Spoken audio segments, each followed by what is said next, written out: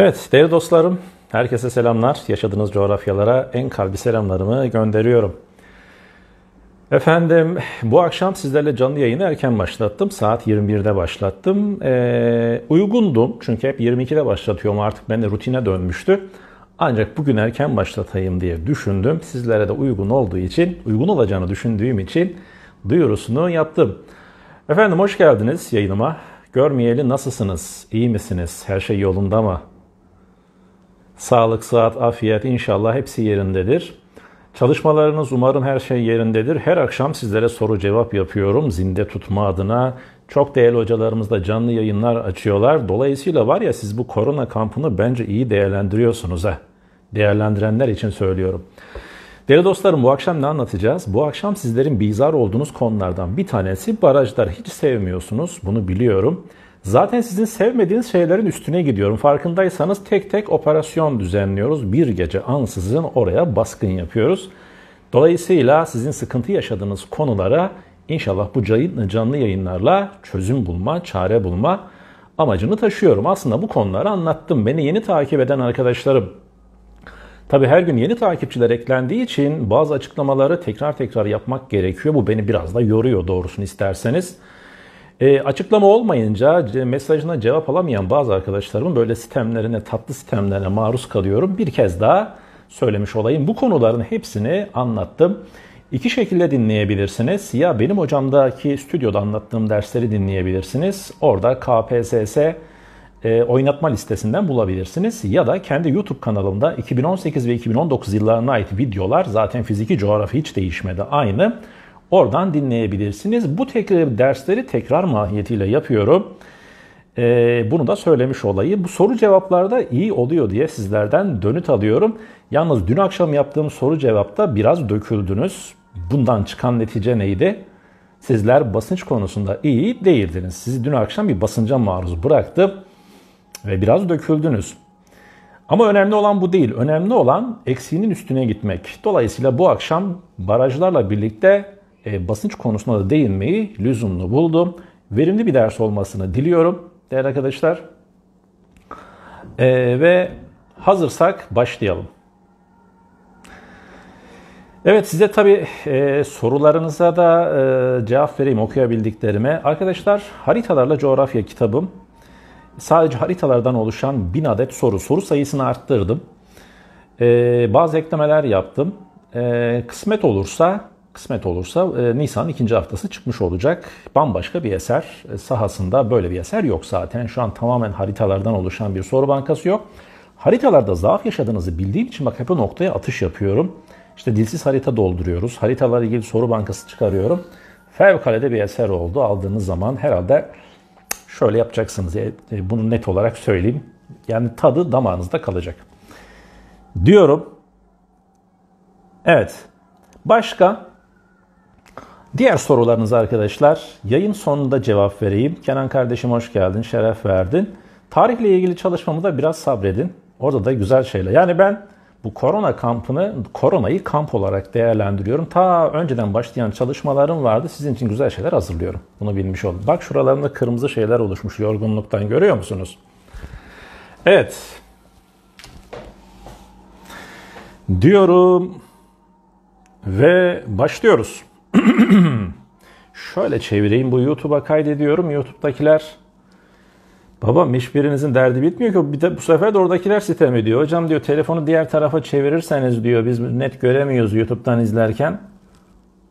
Bu sefer telefonu farklı tarafa çevirdim.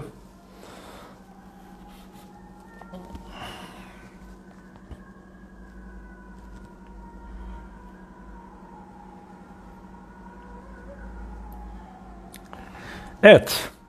Değerli arkadaşlarım, önce dilsiz haritamızla başlıyoruz. Türkiye dilsiz haritası. Valla dersimizde potpori gibi. Üç tane farklı şey yapıyoruz. Önce dilsiz harita, sonra konuyu anlatıyoruz, sonra da e, dilsiz haritayı kendimiz çözüyoruz. Burada da dilsiz haritada illeri gösteriyoruz. Neden? ÖSYM il soruyor güzel arkadaşım. 2019 lisansta neyi sordu? Hangi ilin hangi il sınırda değildir? Siirt'i sormuştu. Dolayısıyla bu çalışmaların efendim orada semeresini alırsınız. Efendim bugünkü ilimiz hangisi? Antalya ne kadar kocaman bir il görüyorsunuz Antalya. Ve Antalya hakkında benim öğrencim ne bilecek? Benim öğrencim ne bilecek? Şöyle şuraya ben, bakın şurası Antalya. Antalya ile ilgili gelebilecek soruları bakın söylüyorum. 10-15'ten Antalya önemli bir vilayet güzel arkadaşım. Türkiye'nin 81 vilayeti soru açısından bir önem arz etmiyor. Evet şahsi manevisi açısından her vilayetimiz, her ilimiz çok değerlidir. Başta Elazığ olmak üzere. Neticede memleket şey yapalım şu anda. E, kıyağı. Ama ÖSYM açısından bazı illerin soru değeri çok daha yüksek. Onların bir tanesi de Antalya. Peki Antalya ile ilgili nasıl soru geliyor? Bakın ben hızlı hızlı yazıyorum. Antalya deyince değerli arkadaşlarım bir kere yüz ölçümü büyük bir vilayet aklınıza gelecek. Evet doğu batı yönünde yüz ölçümü en geniş olan vilayet dolayısıyla üzerinden en fazla boylam geçen vilayettir. Evet Doğu batı yönünde geniş olduğu için üzerinden çok sayıda meridyen geçiyor. Doğusuyla batısı arasında en fazla yerel saat farkı oluşan ildir. Yüz ölçümünden dolayı. Bu kadar büyük bir yüz ölçüme sahip olduğu için Türkiye'de ormanların hektar olarak en çok yer kapladığı alandır. Hektar olarak diyorum bakın ağaç sayısı olarak diyorum. Böyle düşünün. Başka Antalya deyince Antalya bir turizm kentidir. Yani Antalya deyince aklınıza ne geliyor sizin? İki şey gelecek. Turizm ve tarım gelecek. Değerli arkadaşlar İstanbul'dan sonra turist sayısında Türkiye'de ikincidir. Bakın turist sayısında İstanbul'dan sonra en çok turistin gittiği vilayet Antalya'dır. Ee, İstanbul'a 14 milyon civarında giderken Antalya'da 13-900 civarında turist gidiyor. Antalya ekonomisinde iki şey etkilidir. Turizm ve tarım. Tarım da özellikle nerede yapılır? Seralarda yapılır. Seracılık çok gelişmiştir. Türkiye'de seracılığın en geliştiği vilayettir. Antalya'da tarla tarımı değil bahçe tarımı gelişmiştir. Neden tarla tarımı yok? Çünkü Antalya çok dağlık arkadaşlar. Antalya'yı Adana gibi düşünmeyeceksin dostum. Dağlık derken hocam bu coğrafyaya hükmeden dağlar hangisi? Bey Dağları. Bey Dağları'nın bir özelliği var. Milli Park. Tarihi adı nedir hocam? Olimpos. Önemli şeyler söylüyorum. Bey Dağları'nın Milli Park demişken Antalya'nın bir özelliği daha var. Türkiye'de en fazla milli parkın olduğu ildir. Bu arada Antalya demişken Mustafa kardeşime bir sevdadır coğrafyada. Buradan selamlar göndereyim. E, vefamızı gösterelim. Geçiyorum. En fazla milli park. Antalya deyince mağara turizminin geliştiğini, Türkiye'de mağara turizminin en geliştiği yer olduğunu. Hocam bir tane mağara söyle. Söylüyorum. Damla Taş mağarasını bileceksin değerli dostum. Antalya deyince şelaleleriyle meşhur özellikle de Düden, Kurşunlu ve Manavgat şelalelerini bileceksin. Bakın doğa turizmi de gelişmiş Antalya'da, kültür turizmi de gelişmiş. Hocam kültür turizminde ne var? Aspendos var, Aspendos. Tiyatro. Ya ben hayret ediyorum arkadaşlar. Gidip geziyorum ya zaman zaman. Yani yıllar önce, milattan önce ya da milattan az sonra bu insan eserlerini görünce gerçekten saygıyla eğilesim geliyor önden. Nasıl bir harika, nasıl bir estetik e, nasıl bir ince ruh yansımış o mermeri öyle şekillendirmiş. Günümüze geldiğim zaman son derece kaba bir insan formatıyla e, karşı karşıyayız. Binalar küt binalar böyle tipsiz mipsiz binalar biçimsiz şehirleşme ama eski insanlara bakıyorsun ne kadar zarif insanlar. Doğrusu ben zerafete meftun bir adamım arkadaş açık ve net söyleyeyim. O münasebetle e, o eski yapıları yapanlara dini, milleti, ırkı ne olursa olsun gerçekten saygı duyuyorum. Aspendos'la ilgili tabii ülkemizde trajikomik şeyler de oluyor. Restore eden firma, restorasyon yapan firma eski mermerleri sökmüş, yenisini takmış. Skandala bakar mısın yani? Sonra gazeteciler sormuş ne iştir böyle şey mi olur, restorasyon mu olur? Ya işte daha güzel oldu, yeni mermer taktık bak tertemiz diye de arkadaşlar kara mizah olacak savunma yapmışlardı. Aspendos. Başka neyi bileceksin değerli arkadaşım? Saklı kenti bileceksin. Saklı kent Antalya, Antalya Beydağları ve kış turizmi. Evet bakın çok ilginç bir şey söylüyorum. Antalya'da kış turizmi gelişmiştir. Antalya'da aynı zamanda golf turizmi gelişmiştir. Antalya'da aynı zamanda buzul şekillerine rastlanır. Neden? Neden rastlanır? Bakın ben nedeni açıklamasız bırakmıyorum. Çünkü buradaki dağın, e, Beydağların ortalama yükseltisi 3000 metre, 3000 küsur. E, Türkiye'de buzul şekilleri kaç metreden sonra görülüyor? 2500. Siz sokaktan bir adam çevirin. Deyin ki Antalya'da buzul şekli görülür. Adam der ki ya git işine benden dalga mı geçiyorsun? Antalya'da kış turizmi yapılır diye söyleyin birine ya git benden dalga mı geçiyorsun der. Ama ÖSYM'de buradan atış yapar. Soru sorar bak üstüne basa basa söylüyorum. Değerli dostlarım Antalya deyince başka ne bileceksin? Lara'yı bileceksin, Patara'yı bileceksin. Böyle söylerken bile insan halden hale giriyor. Yani Lara, Patara çağırıyor kendini doğru bakın. Erzurum'a gidiyorsun Sansa Deresi, Cehennem Deresi, Yağ Donduran, Sakal mı? Bu ne lan ne biçim isimler? İnsan zaten başta ürküyor. Dolayısıyla bu coğrafyada Lara, Patara, Saklıkent, Olimpos, Termesos, Doritos demiyorum tabii ki Doritos yok. Bunları bileceksin. Yazayım buraya Termesos'u da bileceksin. Başka Antalya aynı zamanda Yivli Minare bakın Selçuklulardan kalma eserler de var. Şu ana kadar sorulmadı, sorulmadı ve ben buradan soru bekliyorum. Ee, Antalya'ya gidenler Antalyalılar da dahil olmak üzere kınıyorum ya Yivli Minare'yi bilmiyor. Antik Yunan'dan kalma, İyonlardan kalma eserleri biliyorsun ya Selçuklu'dan kalma eser. Bunu nasıl bilmezsin? Her şeyi bileceksin. Her kültür objesini bileceksin. Başka Antalya deyince benim öğrencim ne bilecek? Damlataş mağarasını söyledim. Golf turizmini söyledim. Bakın burada Belek Avrupa'da önemli, ikinci önemli golf turizm merkezidir. Türkiye'de birinci, Avrupa'da ikinci. Bakın bu çok önemli ha. Avrupa'da ikinci. Dolayısıyla ben öğrencilere bazen takılıyorum. Ulan diyorum şu anda langırt oynuyorsunuz teneffüslere bir yatan da gidip golf oynarsınız. Oradan selfie'ler çekersiniz bu sefer diye. Antalya bu özelliğini bileceksin. Başka bak yaz yaz bitmiyor. Antalya deyince kanyon vadilerin olduğu bir yerdir. Köprülü kanyon.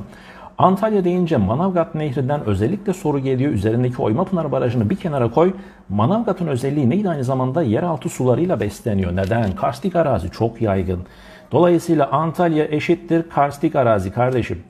Karstik arazi geçirimliydi. Delta ovası oluşturamazdı. Bunu önceki soru cevapları da söyledim ben size. E, karstik arazi yaygınsa bir yerde yeraltı suyu fazla. Neden? Çünkü karstik arazi süzgeç gibi tabiri caizse suyu dök hop hemen alttaki mağaralara gidiyor. E, alttaki mağaraya gidiyorsa mağaraların tavanı zaman zaman çökerse burada hangi tür deprem olur? Çöküntü depremi olur değerli dostum bak Antalya karıştırma. Bak say say bitmiyor değerli arkadaşım. Antalya deyince oldukça dağlık Bey Dağları, Batı Toroslar bu coğrafyaya hakim. Dolayısıyla Antalya özellikle de Teke Yarımadası'nı bileceksin. Aha da şurası bak. Akdeniz'de iki tane yarımada var. Şurası Taşeli Mersin'de, şurası da Teke Yarımadası. Teke Yarımadası sorularda geliyor. Teke platosudur aynı zamanda. Bakın ne platosu bu? Karstik plato. E burada tarımsal nüfus yoğunluğu kısaltarak yazıyorum. Tarımsal nüfus yoğunluğu fazla mı az mı? Fazla mı az mı? Tabii ki diyeceksin ki hocam karstik arazi çok olduğu için tarım pek yapılamaz. Tarımsal nüfus yoğunluğu e, azdır diyeceksin. Oysa dostum ÖSYM ters köşe yapmayı sever. Sever tarımsal nüfus yoğunluğu fazladır. Ama hocam nasıl olur diyenler var böyle ağlayanlar, sızlayanlar. Değerli dostum burası çok dağlık diyorum ya ben sana. Antalya çok dağlık olunca burada tarım yapacak arazi yok. Tarım arazisi sınırlı. Sınırlı olunca zaten ne oluyor? Arazi başına düşen insan sayısı fazla oluyor.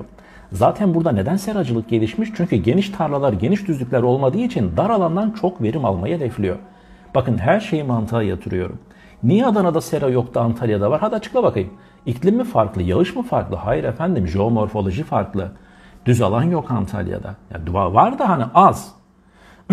o zaman burada tarımsal nüfus yoğunluğu fazla. Te, ne e, peki Teke Yarımadası'nda tarımsal nüfus yoğunluğu fazla da ne az? Aritmetik nüfus yoğunluğu az. Fazla nüfus yok. Yani Akdeniz'in de nüfusun seyrek olduğu yerlerin olduğunu bilmende bak neredeyse bir sayfa doldurduk ya. Vallahi gittikçe su gibi gidiyor. Birkaç özellik daha söyleyeyim değerli arkadaşlar. E, Terra Rossa toprağı zaten Antalya ile özdeşleşmiş. Bunu biliyorsunuz değil mi? Terra Rossa. Antalya deyince bunu da bilmenizde fayda mülaz ediyorum. Elmalı ve Korkuteli ilçeleri var. Elmalı ve Kork bunlar karstik ovalar. Ve Elmalı ve Korkuteli'nin özelliği nedir? Antalya'nın kıyısına değil iç kesimleri. Bakın şurada Bey Dağları var. İç kesimlerde kalıyor. Dolayısıyla karasal iklim koşulları görülür. Bir kez daha söylüyorum. Elmalı ve Korkuteli Nerede Elmalı ve Korkuteli? Şu anda da burada ezanlar, ilahiler okunuyor. Malum camilerde Türkiye'nin her yerinde yatsı namazından sonra. Hadi ona dayalı bir e, şey anlatayım. Elmalı demişken Elmalı Hamdi Yazır Kur'an müfessiridir. E, ve Okan Bayülgen de onun torunudur. Dedeye bak, toruna bak. Yani dolayısıyla böyle e, farklılıklar da söz konusu. E, hiç kimse bir tornadan çıkmış gibi olamaz arkadaşlar. Ben her zaman farklılığı savunurum, onu da söyleyeyim. Bunu genel kültür olsun diye söylüyorum. Hafıza tekniğidir aynı zamanda güncel bir bilgi. Evet Elmalı, Korkuteli Antalya'nın iç kesimlerinde kalıyor. Karasal iklim koşulları yani Antalya deyince her tarafında denizel iklim görülür, Akdeniz'i görülür. Sakın deme. Sınavda da böyle yapıyorsun. Geçen sınav e, soru cevapta sordum akşamki hikayemde Isparta ile Siirt'i kıyaslıyorum. Hocam Isparta daha sıcak değil mi? Akdeniz bölgesinde. E şimdi demek ki bu öğrencim benim ya beni dinlememiş e, ya da iyi dinlememiş. Başka seçenek yok yani. Çünkü ben bunu özellikle vurguluyorum. Isparta iç kesimlerde kalıyor. Yani Toros Dağları'nın e, kuzeyinde kalıyor. Denizel iklim Toros Dağları'nı aşıp iç kesimlere sokulamıyor ki. Isparta'ya sokulamadığı gibi Korkuteli ve Elmalı'ya da sokulamıyor. Bildiğin karasal iklim. Okey. Ve Antalya deyince neyi bileceksin? Antalya deyince hiç çubuk geçidini bilmemek olur mu arkadaşlar? Evet not alıyoruz. Çubuk geçidini de bileceksin. Ve Antalya artık sizin şu yorumu yapmanızı bekliyorum ben. Bakın bu kadar dağlık bir coğrafya dedim Antalya. E, dağlar aşarak gidiyorsun. E, hatta otobüs o kadar böyle virajları dönüyor ki bazı insanların midesi kaldırmıyor. O kadar söyleyeyim yani. E şimdi böyle bir yerde gerçek alan ile yüzdüşüm alan arasındaki fark nasıl olur? Fark tabii ki fazla olur. Neden? Çünkü şöyle bir coğrafya. Yüzdüşüm neydi? Burayı düz kabul ediyorsun. Şu aradaki e, farklılıkları, detayları e, ölçmüyorsun. Gerçek neydi? Her tarafını ölçüyorsun. Dolayısıyla bir yerin gerçek alanı ile izdüşüm alan arasındaki farkın fazla olması için coğrafyanın böyle engebeli olması lazım. Dolayısıyla Antalya deyince senin aklına sadece şezlong gelmeyecek, plaj gelmeyecek. Antalya'ya akın eden Rus turistler gelmeyecek şimdi tamam mı? Ve Antalya deyince falezleriyle meşhur. Vallahi falez deyince aklıma falez berber. Falez miydi? Falez berber miydi? Berberler kapalı ya şu an adam falezlerde sandalye atmış geleni gideni tıraş ediyor. Tabi falez deyince hemen biz de coğrafyaya çektik orada. Benim öğrencilerim, uyanık öğrencilerim hemen mevzuyu coğrafyaya bağladı. Hocam burada falez varsa o zaman hangi kıyı tipi vardır? Tabii ki boyuna kıyı tipi vardır. Antalya'da cephesel yağışlar görülmekle beraber orografik yağışlar da görülür. Ve Antalya'nın aldığı yağış 1050 milimetredir. Adana'dan fazla sebep dağlar kıyıya daha yakın ve daha yüksek. Bayağı bir detaylı Antalya'yı anlattım. Soru değeri olduğu için anlattım ve geçiyorum bugünkü konuma. Benim yayınımı dikkatle dinleyen arkadaşlarım bunları not alsınlar, bana atsınlar ve ben de efendim yayından sonra paylaşayım. Bu arada şu ışık desteği sağlayayım.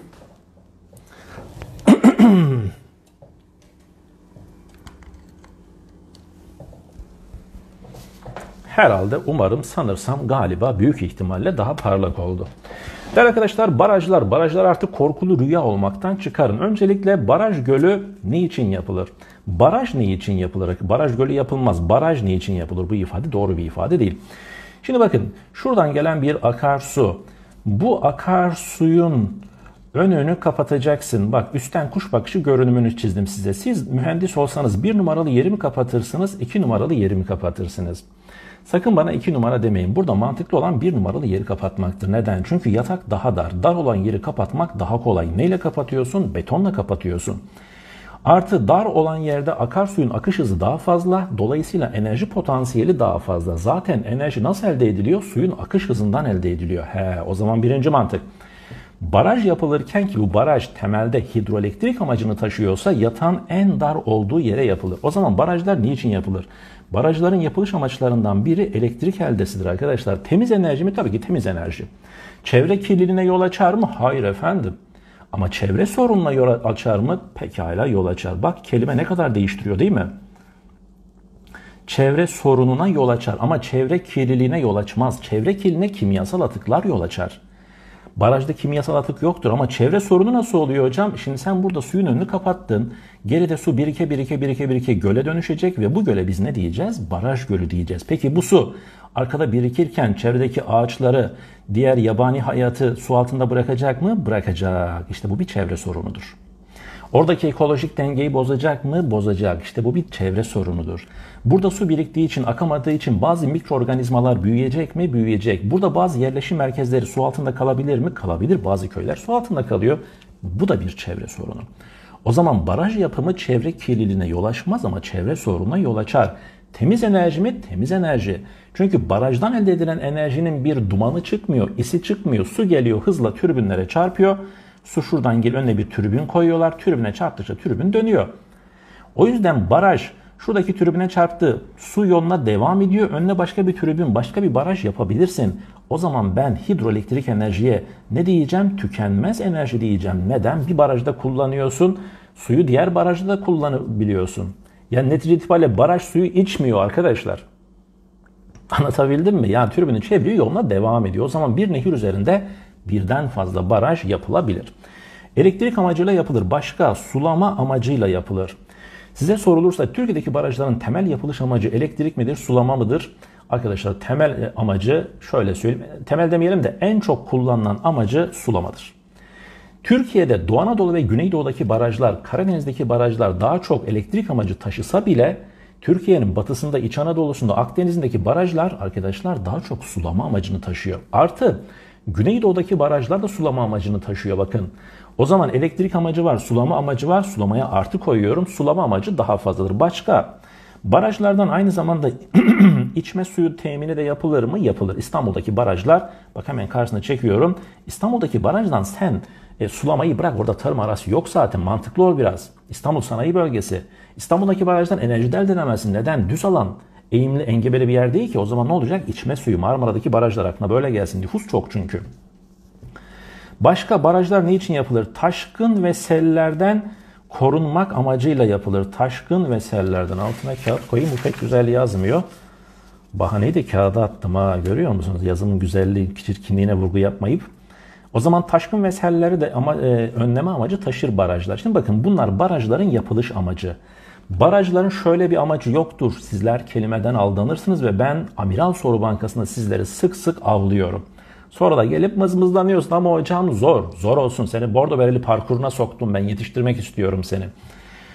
Amacı değildir ama sonradan ortaya çıkan amaçlar nedir o? Ulaşım.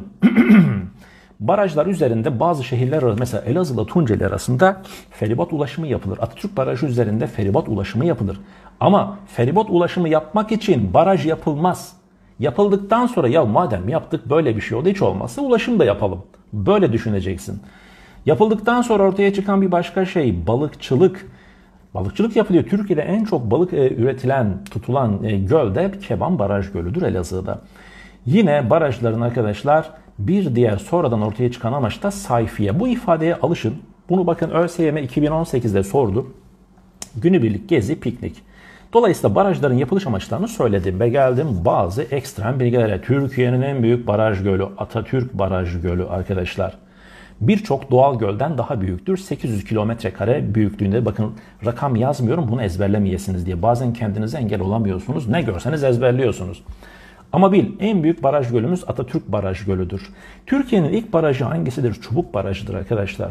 Ankara yakınlarındaki en yüksek barajımız hangisi? Deriner Barajı. Deriner Barajı nerede? Artvin'de. Hangi nehir üzerinde? Çoruh Nehri üzerinde. Şimdi ben bu dersi yapma gerekçelerimden biri sizlerden gelen talepler. Dolu, doğrusu bazılarınız istekte bulunuyorsunuz. Bir peçeteye yazıp bana uzatıyorsunuz. Bu parçayı seslendirebilir misin diye adeta bana e, özelden mesaj atıyorsunuz. Baktım ki bu yönden istekler fazla. Ben de kendime engel olamayıp kendimi sahneye atıyorum şu anda olduğu gibi. Hocam ben barajlardan şüpheleniyorum. Bu sene soru gelecek ve ezberlemekte zorlanıyorum. Hangi nehir, hangi baraj? Ve değerli arkadaşlar e, şunu da söyleyeyim. ÖSYM barajdan soru soruyor. Yoksa soru sormamış olsaydı ben bu dersi yapmazdım emin olun. Bakın her konuda canlı yayın açmıyorum. Benim de zamanım kıymetli, sizin de zamanınız kıymetli çünkü. O münasebetle ÖSYM geçen yıl baraj sordu. Bir önceki yıl baraj sordu. Ondan önceki yıllarda yine baraj sordu. Yani nehir bahar baraj eşleştirmesini sordu. E, başka hangisi GAP bölgesindeki barajlardan biri değildir diye sordu. Dolayısıyla Bunları bilmekte fayda var. Baraj yapılırken neye dikkat edilecek? Arkadaşlar öncelikle temiz bir abdest alınacak değil tabii ki. Baraj yapılırken neye dikkat edilecek? Öncelikle şuna dikkat edilecek. Çevre sorununa yol açmasın. Yani çevrede ekolojik değeri olan yerlerin su altında kalmaması lazım. Rize'de Fırtına Deresi üzerinde yapılan bir baraj var. Biliyorsunuz yöre halkı buna tepki gösteriyor. Yapmayın Fırtına Deresi'nin oradaki ekolojik dengeyi bozmayın, su altına bırakmayın. Fakat Enerji Bakanlığı bu konuda bildiğini okuyor e, yani suçlayamayız. Yani çünkü devletin enerjiye ihtiyacı var. Yapmayabilirdi ama yapmayı tercih etti. Başka Batman Hasankeyf baraj yapılırken tarihi eserler. Bu kalem niye güzel yazmıyor? Arkadaşlar bir saniye ben kalemi değiştireyim. Valla yazım kötü var ya kağıda bahane buldum. Kaleme bahane buldum. Şimdi bir kalem değiştireyim.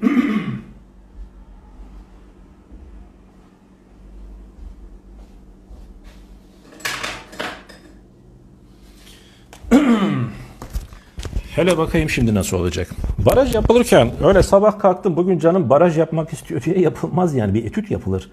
Çevrede tarihi eserler varsa baraj yapılmaması. Evet Batman'a Hasankeyf'e baraj yapılmasını ben de karşıydım.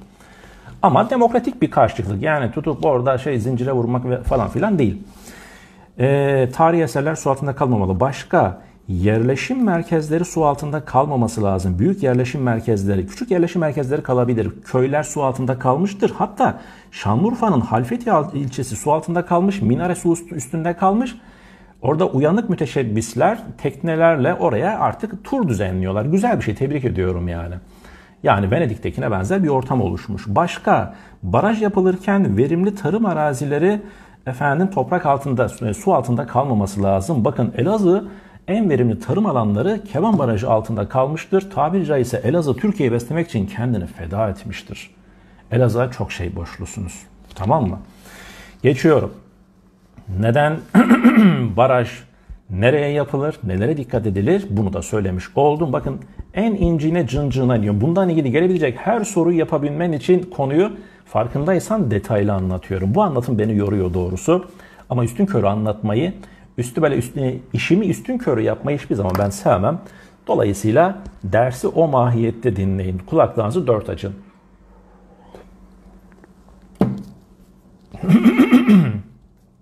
Barajların ömrü ne kadardır? 50 yıl. Bunu öğrenin gidin arkadaşlarınıza hava atın. Hocam Avrupa'da ne kadar? 200 yıl. Ya insan gerçekten üzülüyor. Niye Türkiye'de dörtte bir kadar? Çünkü Türkiye'de erozyon çok şiddetli. Erozyon şiddetli. Niye erozyon şiddetli? Çünkü biz yüksek ve engebeli bir ülkeyiz. Hemen bak her şeyin nedeni var coğrafyada arkadaşlar. Yüksek ve engebeli. Hocam ne alaka? Şimdi yüksek ve engebeli olunca suların akış hızı artıyor. Akış hızı artınca aşındırma ve taşıma gücü artıyor. Aşındırdığı ve taşıdığı malzemeyi nereye getiriyorsun? Barajın önüne getiriyor. Sen burada önünü kapatmışsın suyun. Getirdiği alivyonları barajın önüne yığa yığa artık burada barajın bir kısmı enerji üretemez duruma geliyor. Keban Barajı'nda hep söylerim 8 tane tribün var 4'ü çalışır arkadaşlar. Yakında o 4'ü de kapanabilir. Neden? Önü tıkanmış. O zaman barajların en büyük sorunu nedir? Erozyon. O zaman bir çıkarım daha yapalım. Barajların hangisi yapılış amaçlarından biri değildir? Bak bunları verir. Elektrik üretimi, sulama, içme suyu, taşkın ve sellerle mücadele, erozyonla mücadele. Erozyonla mücadele ne münasebet efendim? Erozyona bilakis maruz kalıyor. Erozyonun kurbanı oluyor. Erozyonla mücadele için baraj yapılmaz. Erozyonla mücadele için ağaç dikilir dedim. Ama siz bazı şeyleri yarım yamalak e, öğrendiğiniz için bunları da karıştırmaya müheyya bir yapınız var. Şimdi değerli arkadaşlar barajla ilgili girizgah yaptım ve geldim en heyecanlı yerlerden birine, en zevkli.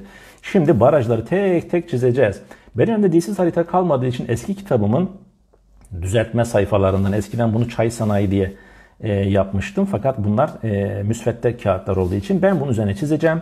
Sizler de alın haritalarınızı Buyurun efendim Türkiye'nin en önemli barajlarını çizeceğiz. Bütün barajları bilmenize gerek yok. Türkiye'de 360 civarında baraj var. Hepsini bilmene gerek yok. Ve önce Fırat. Arkadaşlar Fırat Nehri Elazığ'dan doğar. O yüzden Elazığ'a bir kalp işareti koyuyorum. Elazığ'dan doğar, Malatya'dan geçer, Adıyaman'dan, Gaziantep'ten, Şanlıurfa'dan geçer, Peki bu Fırat Türkiye sınırları dışına çıkana kadar hangi barajlar yapılır üzerinde yazıyoruz. Keban Barajı yaz. Elazığ'dan çıkarken Elazığ'dan Karakaya ikisi de Elazığ'da. Elazığ sınırında Karakaya. Elazığ'ın üç tarafı sularla çevrili. Keban Barajı'nın sularıyla çevrili. Karalar ortasında bir yarımada gibidir adeta. Aha da göstereyim ispatı olsun. Eee yani bir baraj nelere etkilere örnek olarak bakın gösteriyorum. Görüyor musun Elazığ? Üç tarafı sularla çevrili Keban Barajı ve Karakaya Barajı'nın sularıyla çevrili. Keban, Karakaya. Başka Fırat üzerinde ne var? Fırat üzerindeki en büyük barajı yazıyoruz. Atatürk Barajı. Dünyanın 12. büyük barajıdır. Türkiye'nin en büyük barajıdır. Türkiye'nin en büyük barajı Deriner Barajı değil karıştırma. En ifadesini duyuyorsun gerisine dikkat etmiyorsun en büyük diyorsa Atatürk, en yüksek diyorsa evet en yüksek de, diyorsa Deriner. Tamam. Geçtik. Bir başka baraj neresi? Birecik Barajı. Birecik'in e, Şanlıurfa'nın ilçesidir. Kelayna kuşlarıyla meşhurdur. Ve yine Türkiye sınırlarını terk etmeden hangi baraj? Karkamış Barajı. Karkamış, Barajı, Keban, Karakaya, Atatürk, Birecik, Karkamış ve geldim Dicle Nehri'ne. Arkadaşlar Dicle Nehri de Elazığ'dan doğar ama Diyarbakır'da arıza endam eder. Dicle Nehri'nde şöyle çizeyim. Burada önemli olan nehrin nerelerde aktığı çok değil de nehir üzerindeki barajları çiziyoruz bu dersimizde. Daha önce akarsuları çizmiştim. Orada detaylı çizmiştim nerelerden geçtiğini. Arkadaşlar Batman Barajı. Evet. Başka e, Kral Kızı Barajı. Kral Kızı. Başka Deve Geçidi Barajı. Başka e, Dicle Nehri üzerinde Ilı Su Barajı ki Ilı Su'nun şöyle bir özelliği var. Hasan Keyfi yazın arkadaşlar. Parantez içerisinde Hasan Keyfi efendim su altında bırakmıştır. Ve geldim bir başka baraja. Ee, Çoruh Nehri üzerindeki barajlar Çoruh Nehri Türkiye sınırları dışından e, Türkiye'yi terk eder. Üzerindeki barajlar Deriner Barajı, Bakın Deriner, Deriner barajı şuradadır demiyorum yani. Şurada da olabilir. Önemli değil. Önemli olan şu anda üzerindeki barajları gösteriyorum. Barajın tam olarak nerede olduğunu sormaz sana. Tamam mı? Üzerindeki barajı bilmen yeterli. Yani nehir ve baraj eşleştirmesi şeklinde sorar. Başka Borçka barajı, başka Yusuf Eli barajı, başka Muratlı barajı. Deriner Barajı'nın bir özelliği var. Parantez içerisinde en yüksek diyorsun. Yusufeli Barajı'nın bir özelliği var. Şayet biterse, biterse diye parantez içerisinde yap. 3 nokta koy. Şimdi bak 3 önemli baraj. 3 önemli nehir üzerindeki barajlar. ÖSYM en başta bunları soruyor. Yani hocam benim hafıza kapasitem sınırlı. O kadar çok şey doldurdum ki artık sınırlı sayıda öyle bir şey söyleyin ki bana hani en bilmem en bilmen gereken budur dostum. Tamam? Ama ben biliyorum ki sen bunu unutabilirsin. Bu gayet normal, gayet insani bir durum. Ama ben dersimi bu şekilde anlatmakla sana karşı yükümlülüğümü yerine getirdiğimi düşünmüyorum. Ve bu beni vicdanen rahatsız ettiği için uykusuz geceler, haram oldu gençlik diyor ya. Ben de ne yapıyorum? Bununla ilgili hafıza tekniğini yaptım. Bak bakalım şimdi aklında kalacak mı kalmayacak mı? Kararı sen ver. Şayet sabah kalktığında aklında kalıyorsa bana mesaj atarsın. Ee, hocam aklında kaldı ya da kalmadı. Gerçek neyse onu söyle yani. Kalmadıysa ben de başka teknikler üreteyim. Efendim Fırat üzerindeki barajlar. Burada e, şunu biraz zoomlayayım dedim ama Şimdi bakın Fırat üzerindeki barajlar Keban, Karakaya, Birecik, Karkamış, Atatürk. Ne görüyorsunuz? Adamın biri keman çalıyor. Nerede? Fırat'ın kenarında keman çalıyor. Kime çalıyor? Atatürk'e çalacak. Prova yapıyor burada. Gelmiş nehir kenarında keman. Keman neyi hatırlatacak? Kebanı. Fakat o kadar kötü çalıyor ki kargalar bile kaçıyor. Kargalar karkamış. Sadece bir tane karga kalıyor dinlemek için. Nerede kalıyor? Kara bir kayanın üstünde. Karakaya Barajı. Bir tane karga kaldığı için adam da onu biricik biricik diye seviyor. Biricik neyi hatırlatacak? Bireciği hatırlatacak. Haydi bakalım kapattım soruyorum size. Ee, Fırat'ın kenarında adam ne yapıyordu? Adam evet yorumları açayım. Bakalım nasıl aklınızda kaldı. Fırat'ın kenarındaki adam ne yapıyordu? Ne çalıyor? Piyano mu çalıyor? Neydi? Violensel miydi? Onu mu çalıyor? Saksafon mu çalıyor? Hayır, keman çalıyor. Mesut kardeşim selamlar. Gaziantep'e selam olsun. Ee, ne çalıyor? Keman. Keman neyi hatırlatacak? Kebanı. Peki kime çalacaktı? Kim için yapıyor provayı? Nehir kenarına gelmiş ki kimseyi rahatsız etmez. O kadar kötü çalacağından inanıyor adam. Atatürk'e yapacak. Atatürk Barajı'nı hatırlayacaksın. Peki çok kötü çaldığı için kim kaçıyordu? Kimler bile neler bile kaçıyordu? Hayvanları kim diye hitap etmemek lazım değil mi? Kargalar kaçıyordu. Karga neyi hatırlatacak? Efendim Karkamış Barajı'nı hatırlatacak. Bir tanesi kalıyor. O bir tanesine ne diyor? Biricik, biricik, bireciği hatırlatacak. Peki o bir tane karga neyin üstündeydi? Ağacın üstünde mi? Suyun üstünde mi? Yoksa bir kayanın üstünde mi? Evet bu kaya nasıl bir kaya? Kara bir kaya. Okey. Siz bundan sonra keman çalan bir insan gördüğünüzde, bir karga gördüğünüzde ey karga nereye kaçıyorsun? Yoksa biri sana keman mı çaldı Fırat'ın kenarında diye espriyi yap. Çevrendeki insanlar sana biraz garip garip bakabilir ama hiç önemli değil.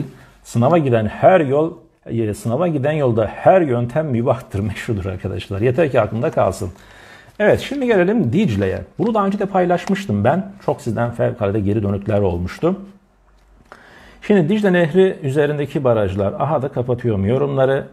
dikkatiniz dağılmasın diye. Bak ne görüyoruz? Vallahi eğlenceli bir şey ya. Yani ben bunu yaptım bazen kendim de eğleniyorum bununla. Al çocuğuna yatırırken bunu oku. Bir deve varmış. Bir köprüden geçiyormuş bu, bu deve üstündeki kızı suya düşürmüş. Bu kız kralın kızıymış. Nereden anlıyorum? Tacından anlıyorum. Tacında ne yazıyor? Dicle bak buraya kadar da detay düşünmüşüm. Bu çizimleri yaptırana kadar emin olun ki 10 defa bunu değiştirdim. Dolayısıyla bunlar öyle genel geçer şeyler gibi düşünmeyin arkadaşlar. Gerçekten burada bir hizmet var yani. Burada bir emek var. Bunu bilin. Yani normal sıradan bir kitap yazmak gibi değil. Ben buradaki her bir detayı bu çizimleri bile kendim düşündüm, planladım. O yüzden kıymeti bilinsin lütfen.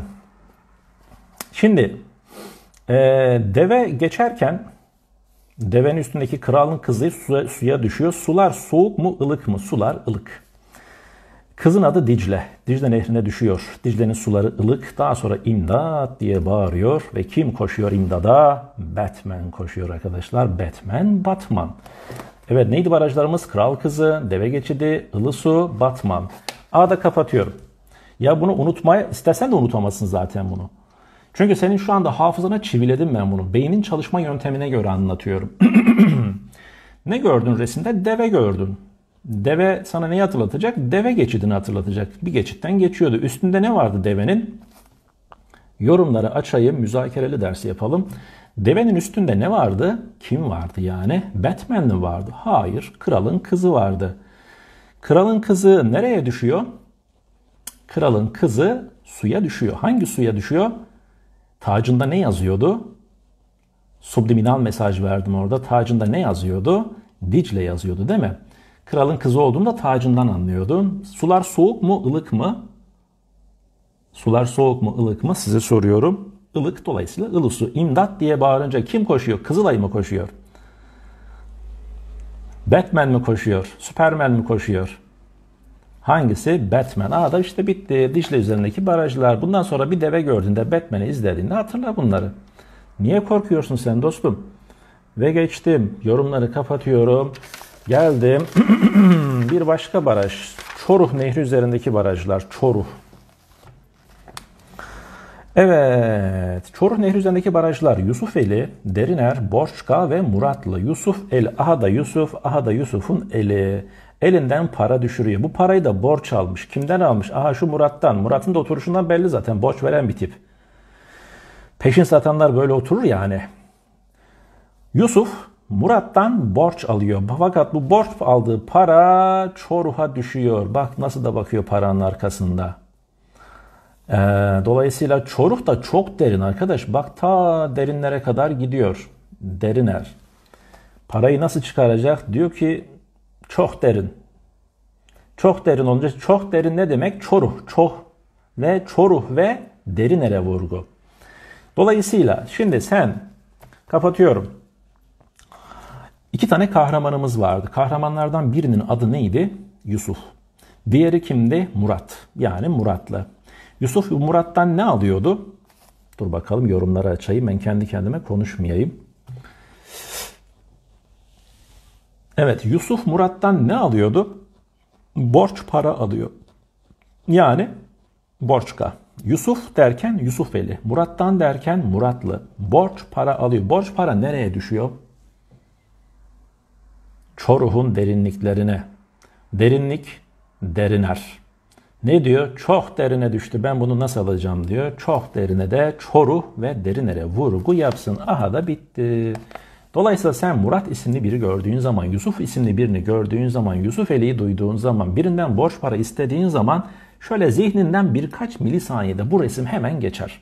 Ve sen orada bir tekrar yapmış olursun. Benim zaten amacım ne? Günlük diyaloglarda bu resimleri, bu teknikleri aklına getirmek. Olabildiğince güncel şeyler kullanmaya çalışıyorum. Beni yeni takip edenler şunu bilsin ki bakın ben şu tekniğe ulaşana kadar en az 40 tane senaryo yırttım attım.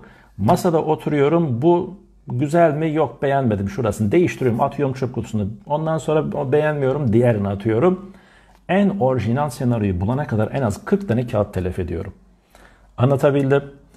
O yüzden benim bu teknikler değerli arkadaşlar %80'i hitap eder. Bakın şu an yayında 4500 kişi vardır. 4500 kişinin %80'i buna bayılır. Ama %20'si bayılmaz. Neden? Çünkü Türk insanının %80'i görsel öğrenme stiline sahip, %20'si işitsel ve dokunsal kinestetik. Hafıza teknikleri görsellere hitap eder. %80 benim için çok iyi bir rakamdır. %100'ü hedeflemiyorum. İşitseller diyaloglara önem verir. İşitsel insanlar beni görmek ister, dudak hareketlerime bakmak ister. Eğitimi siz ne sanıyorsunuz arkadaşlar? Öğretmenliği ne sanıyorsunuz? Öyle paldır küldür çık sahneye, stüdyoya, ekran karşısında ders anlat değildir. Bir sürü tekniği vardır. Her insanın öğrenebileceği bir yol vardır. Anlatabildim mi? Yani öğretmen adaylarına sesleniyorum. Sizler de öğretmenliği yaparken birçok tekniği hazmetmiş olarak sınıfa girdiğiniz zaman öğrenciyi büyülemeniz lazım. Herkese hitap edeceği bir dil jenerasyonu bulmanız lazım diyorum. Ve bunu da kapatıyorum. Ve barajları çizmeye devam edelim. Şimdi tabii tüm barajlar var burada ama bu akşam hepsini vermeyeceğim. Neden? Çünkü şu an siz zihniniz idmansız olduğu için hepsini aklınıza tutamazsınız. Ben sizi bir eğitimden geçirmiş olsam, bir haftalık zihin egzersizleri yapmış olsam bir gecede 30 tane de teknik verebilirim. Ama şu anda e, bu konuda zihniniz eğitimli olmadığı için hepsini vermiyorum. Geldim bir başka baraja. Hangi baraj arkadaşım? E, Yeşilırma, pardon kırmızıyı da çizdim. Şeyle çizecektim. E, diğer kalemim nerede? Yeşil Irmak. Yeşil Irmak e, nehri üzerindeki barajlar. Bunu da ezberlemek çok zor olmasa gerek. Almus Barajı, efendim Hasan Uğurlu Barajı, Hasan Uğurlu ve Suat Uğurlu Barajı. Tamam bunlar teyze çocukları böyle bir. Burada çalışan mühendisler. Bunun da tekniği var ama hepsini vermeyeyim bu akşam arkadaşlar. Dolayısıyla ama bunun resmini de göstereyim. Hasan Uğurlu, Suat Uğurlu. Bu da aklınızda kalacaktır. Ee, aha da bak şudur resmi. Ne görüyorsun? Yeşilırmak Nehri üzerinde Hasan ve Suat'ı görüyorsun. Yeşil bir kazak giymişler. Uğur böceği var. Üzerinde yeşil ırmak. Irmağın rengi de yeşil. Dolayısıyla hani resmini göstereyim fakat senaryoyu uzun uzun anlatmayayım. Aklınızda kalacağını bilin. Geçtim Kızıl Irmak Nehri. Kızıl Irmağı da Sivas'tan doğdurup Bas, e, şeyden döküyoruz. Şurası nerede? Hangi delta ovasıydı?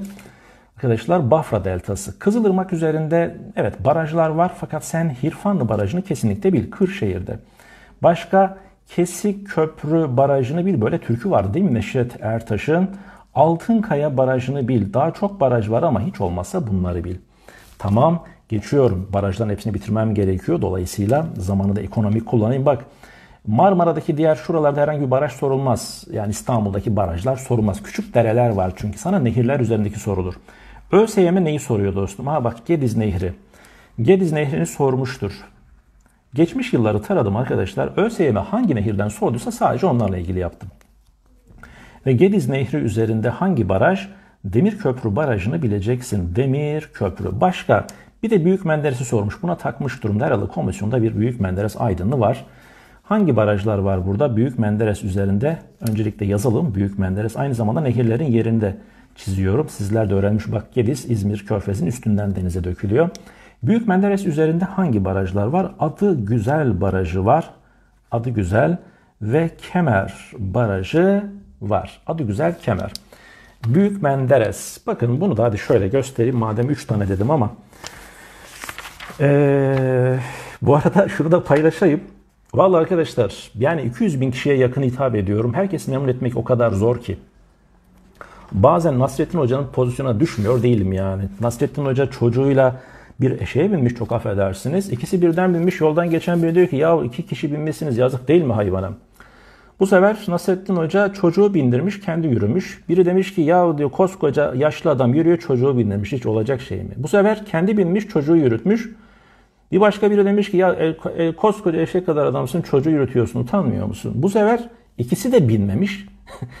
Yolda görenler şunlara bak ya demişler. Aptal mı bunlar, ahmak mı ya? Eşek boş gidiyor bunlar da yürüyorlar. Yani insanların hepsini tatmin edemezsin. Hele ki bu ülke söz konusu ülke Türkiye ise insanlar her taraftan böyle çimdiklemek ister. Bir eksiklik bulmak ister. Bizim insanımız maalesef özgüveni böyle tatmin ediyor. Yani kendine bir şeyler katarak değil, bir şeye, bir şeye katmış insanların eksiklerini bulmaya çalışarak. Nedir o? Bana şöyle bir mesaj geldi. Hocam siz canlı yayınlarda bunları anlatıyorsunuz. İyi de biz kitaba para verdik. Bizim diğerlerinin biz enayi miyiz? Niye kitabı aldık? Diğerleri kitap almadan buna ulaşıyor. Bakın böyle sistemlere de haklı. Haklı o da haklı bir şey demiyorum. Ama hepsini veremiyorum işte. Yani yayında da hepsini vermiyorum en azından. Neyin ne olduğunu görün. Sistem işe yarıyor mu, yaramıyor mu? Ben size bir gecede hepsini zaten veremem arkadaşlar. Ama nedir? Siz kalan zamanı böldüğünüz zaman her gün 3 tane 2 tane bunu zihninize Subaneki gibi ezberlersiniz. O yüzden sistemin işe yarayıp yaramadığını görün diye veriyorum. Herhalde sizden aldığım dönütler yaradığı şeklinde ki bu kitap o kadar satıyor çok şükür. Yani size karşı mahcup etmiyor beni. Bunlar benim evladımdır eserlerim. Şimdi bakın Büyük Menderes. Büyük Menderes üzerindeki barajlar neydi? Adı Güzel ve Kemer.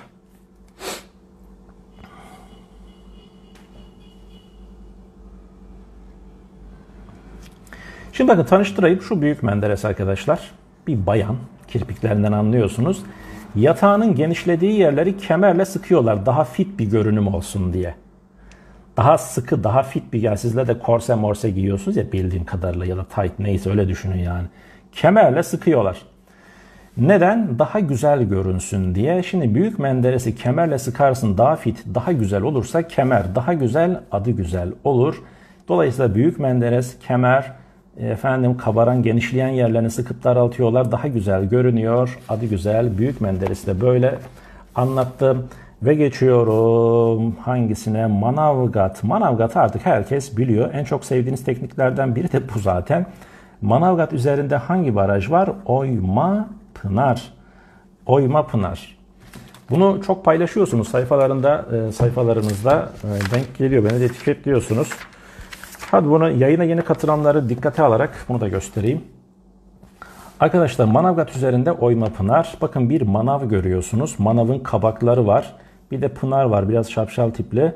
Başlıyor kabağı oymaya izinsiz, habersiz. Kabağın oyduğunu görünce manav ne diyor? Oyma pınar diyor. Pınar'a bak kabağı oymuş. Manav gat. Oh my god. Oh my god. Manav gat. Oyma pınar diyor. Manav gat oyma. Bunu da anlattım. Bunu geçenlerde de bahsetmiştim. Geldim ee, başka bir nehre.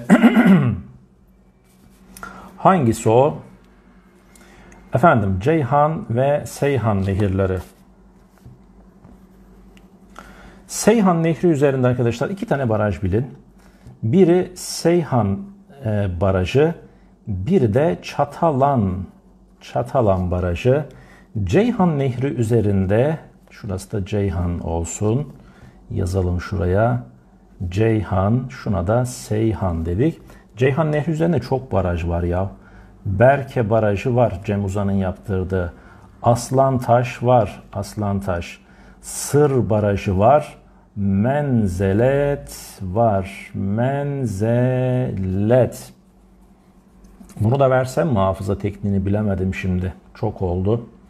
Ama diyeceğim barajlar, nehirler bunlardan. Ha bir de Sakarya'yı da yapalım unutmayalım. Arkadaşlar Sakarya nehrini de yapalım. Sakarya'nın üzerinde hangisini bileceksiniz? Sakarya Nehri diye yazalım. Sakarya dedik. Sakarya Nehri üzerinde e, Gökçekaya, Gökçekaya. Kalp atan arkadaşlarım rica ediyorum atmayın. Görüntü bulanıklaşıyor. Sarıyar, Sarıyar, Çubuk. Tabii Çubuk burada değil ama hani e, yani haritada ancak buraya yazabiliyorum. E, tam olarak Çubuk yoksa Ankara'da malumunuz. Ve Hasan Polatkan. Hasan Polatkan. Şimdi ben size Seyhan'ı anlatayım, Ceyhan'ı mı yoksa e, Sakarya'yı mı? Hangisini vereyim? Bunu yorumlara açayım. Bir tane daha teknik verelim bitirin. Bu arada saat 10'a geldi ya. Biz basınca ne zaman geçeceğiz? Basıncı başka zaman anlatayım size ben arkadaşlar. Yarın mı anlatsam ne yapsam? Bir saat doldu yeter ya. Basıncı yarın anlatayım. Sakarya mı, Ceyhan mı, Seyhan mı? Hangisini istiyorsunuz? Self servis. Hadi size soruyorum.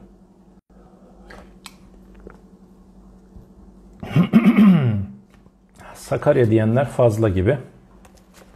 Pekala Sakarya'yı açıyorum.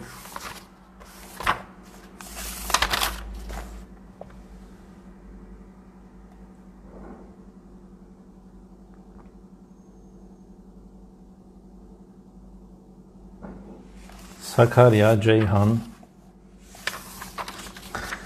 Sakarya Ceyhan başa baş. Şimdi bak Sakarya.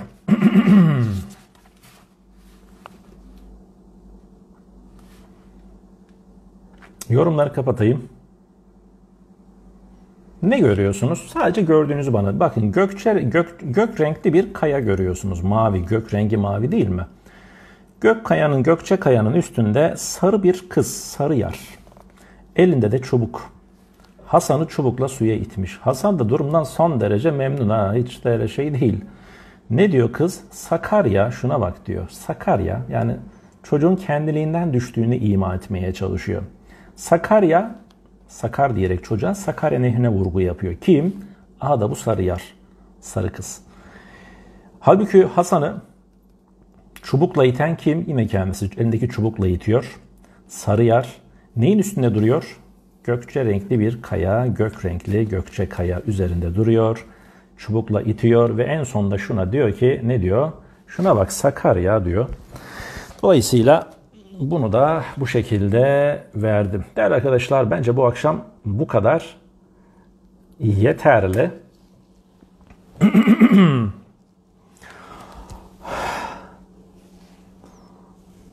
evet. Yeterli bence. Basınca girmeyelim. Basınca müsait olursam yarın gireceğim. Değilsem bir başka gün girerim. Evet sizlerin kanaatlerinizi alayım, sorularınız varsa alayım. Nasıl geçti yayınımız? Faydalı oldu mu? Bir saati ayırdığınıza değdi mi? Sizin zamanınızı almama değdi mi? Ya da benim nefes patlatmama değdi mi?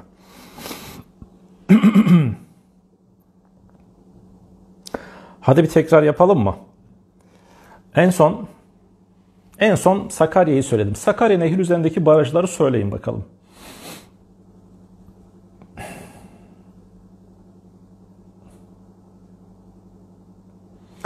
Hocam kitabın adı ne? Kitabın adı Hafıza Teknikleriyle Coğrafya. Şimdi bazen hikayemden paylaşıyorum. Ee, neden? Çünkü çok fazla soran oluyor. Tek tek mesajda dönemeyeceğim için kitaplarımı o şekilde gösteriyorum. Sakarya üzerindeki nehirleri, şey, barajları söyleyin arkadaşlar. Hangileri? Ne gördünüz? Bana ne gördüğünüzü hatırlı söyleyin. Çubuk gördünüz. Çubuk kimin elindeydi? Sarı bir yarın elindeydi. O sarı yar neyin üstünde duruyordu? Evet Gökçe Kaya'nın, şaka maka terlemişim ha. Gökçe Kaya'nın peki kimi suya itmişti? Hasan'ı. Hasan da Hasan Polatkan. Hocam Hasan aklımızda da Polatkan'ı nasıl tutacağız ya? O kadar da tut artık. Onu da mı ben söyleyeyim? Şıklarda zaten Hasan'ı görürsen gerisini hatırlarsın yani Polatkan olduğunu. Dolayısıyla işe yaradı mı? Teknik yarıyor mu yani? Evet yarıyor. Peki bana bana e, Çoruh'u söyleyin. Çoruh Nehri üzerinde. Oradaki resmi bana anlatın. Çoruh Nehri üzerinde hangi barajlar vardı? Ne gördünüz? Resimden ne hatırlıyorsunuz?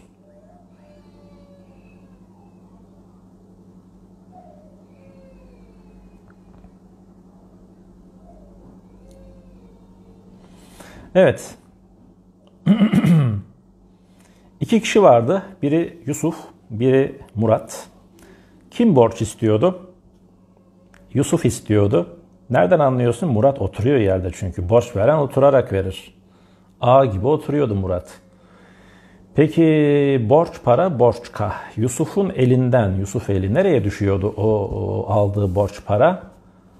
Evet, Çoruh Nehri'nin derinliklerine düşüyor. Ne diyor? Çok derin diyor. Ben onu oradan çıkaramam diyor. Çoruh ve Deriner.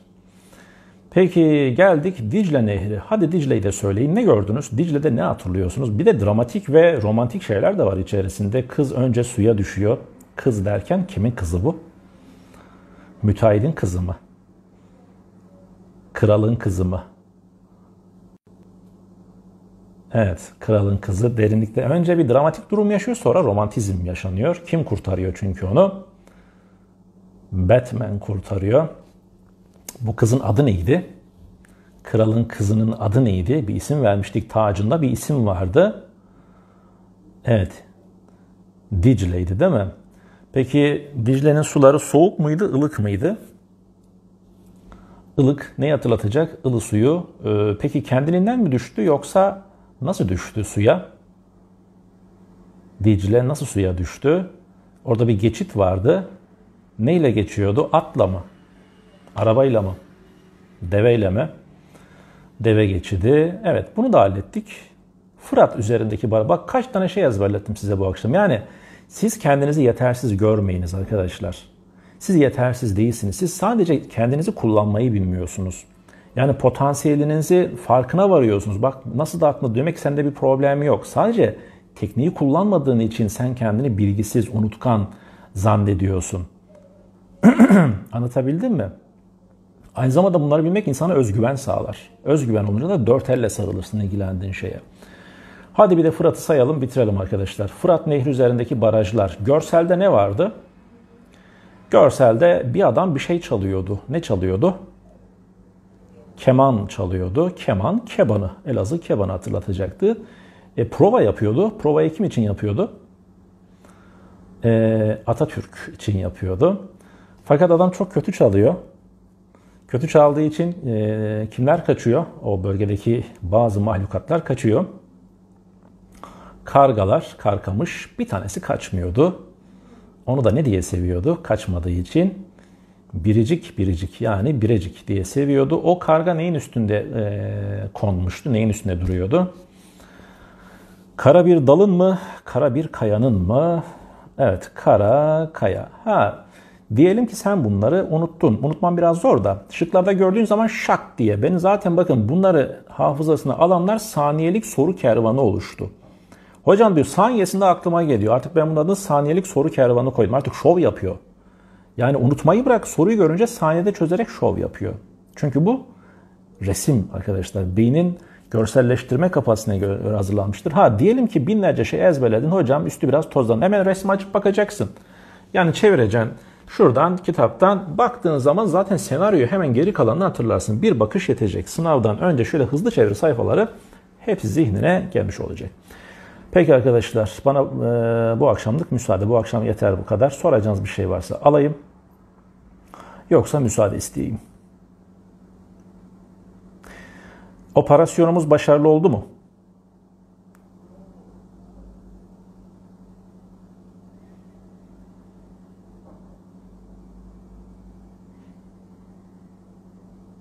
Evet. Pekala ben de teşekkür ediyorum. Faydam olduysa ne mutlu bana. Sizler de iyi ki varsınız. Eksik olmayınız. Çok kayda değer insanlarsınız. Zaman zaman tanışma imkanı buluyorum. E, bu akşamımızı güzel geçirdiysek ne güzel ne mutlu bize diyorum. Sorularınız başka olmadığını görüyorum ve size yaşadığınız coğrafyalara selamlar gönderiyorum.